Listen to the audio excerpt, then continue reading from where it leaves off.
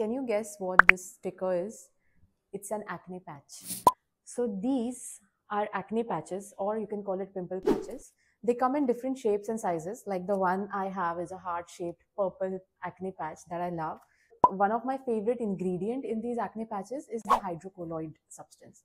So if you have a tiny red pimple somewhere on your face and you have a dinner to attend in the night, you can simply put the acne patch on your face not necessarily uh, the colored ones. They also come in transparent uh, variations and you can apply it on your face and you're ready to go.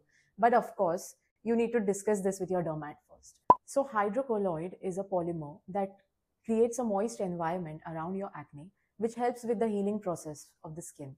A quick tip here if you have an open acne that is red painful sometimes there is pus discharge the hydrocolloid is going to help you especially because it absorbs the pus coming out from the acne if you have blackheads, whiteheads, the acne patches are not going to be very helpful.